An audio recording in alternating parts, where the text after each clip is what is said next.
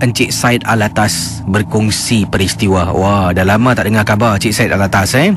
Katanya Assalamualaikum warahmatullahi taala wabarakatuh. Kisi Waalaikumsalam warahmatullahi taala wabarakatuh.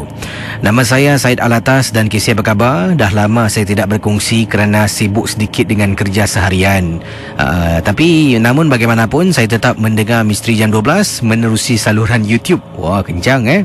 Kata Encik Said Alatas, saya ingin ketengahkan satu peristiwa baru saja saya merawat uh, budak ini.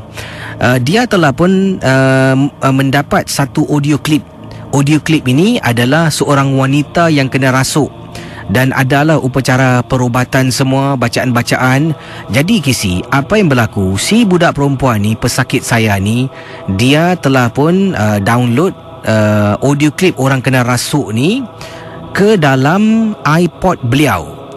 Apa yang berlaku? Malam tu sebelum dia tidur, dia baring sambil dengar audio klip rasukan.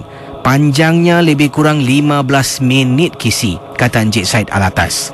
Jadi bila dia dengar, ini yang diceritakan dan saya dapat tahulah oleh ibunya.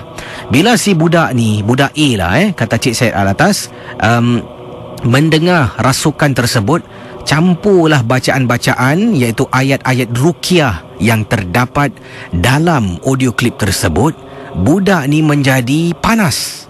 Ini kerana dalam badan budak ni ada sesuatu yang ditinggalkan oleh arwah neneknya. Setelah dia dengar audio klip tak semua, saya rasa mungkin setengah jalan bila si Pak Imam ataupun ustaz tersebut dalam audio klip membacakan surah-surah ruqyah, budak ini mula berubah. Berubah dari segi perwatakannya.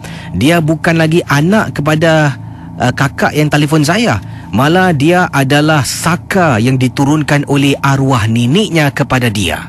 Tidak seorang ahli keluarga pun yang tahu nenek ada saka. Tapi itulah hakikatnya.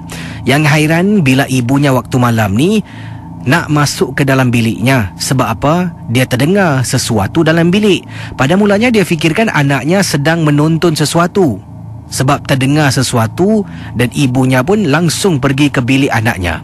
Bila dia buka pintu alangkah terperanjatnya kisi, anaknya sedang duduk di atas almari.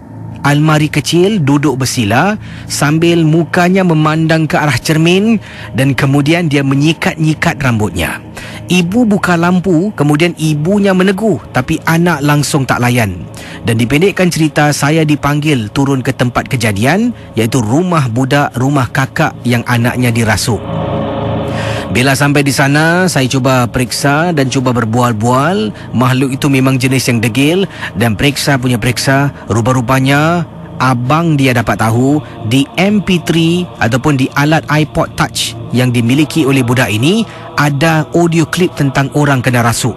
Bila saya dengar terperanjat kisi, ada surah-surah rukyah yang penuh, ada juga benda itu mengilai, meraung kesakitan, meminta tolong dan sebagainya. Saya ingin menasihatkan kepada pendengar-pendengar ria supaya jangan mendengar audio klip sembarangan khususnya kalau ada bacaan-bacaan rukyah khususnya kalau ada orang yang kena rasuk kadangkala kita tak tahu yang dalam badan kita ada sesuatu dan ini akan menjadi satu triggering factor wah yang akan membangkitkan benda yang sedang tidur terima kasih dan selamat tengah malam dari Said Al Atas. No.